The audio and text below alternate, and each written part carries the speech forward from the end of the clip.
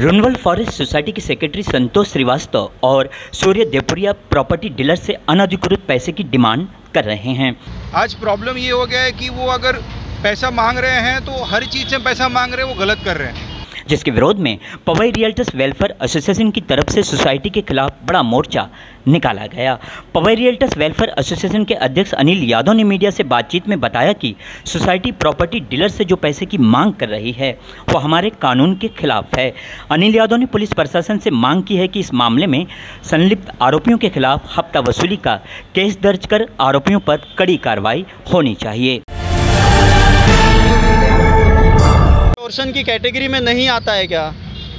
ऐसे इनलीगल पैसे की डिमांड करना जब सोसाइटी सब रजिस्ट्रार ने जिसके अंडर में कोऑपरेटिव हाउसिंग सोसाइटी फंक्शनल होती है उसके राइटिंग में देने के बाद भी अगर सोसाइटी खुलेआम बोल रही है पुलिस के सामने कि हमको पैसा चाहिए तो मुझे ऐसा लगता है कि इनके ऊपर खंडनी का एक्सटॉर्शन का केस दाखिल होना चाहिए।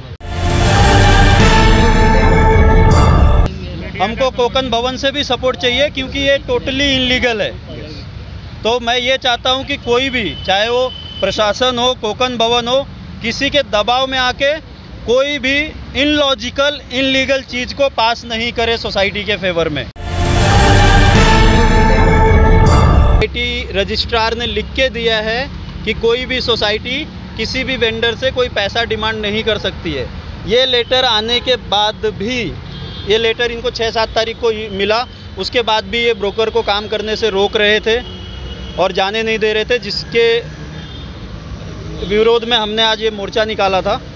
उसके बाद हमने पुलिस बुलाई, पुलिस प्रशासन के लोग भी आए थे, सोसाइटी के लोग बैठे थे।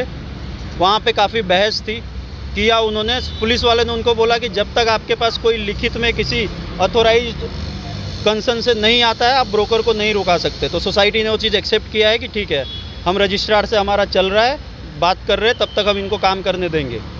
ये आज फाइनल हुआ है। लेकिन इसके आगे अगर हमारे विरोध में सोसाइटी रजिस्ट्रार या सोसाइटी कोई भी कदम उठाती है या कोई भी पैसे की डिमांड करेगी तो हम सारे ब्रोकर लोग भूख हड़ताल पे बैठेंगे और कुपोषण पे बैठेंगे।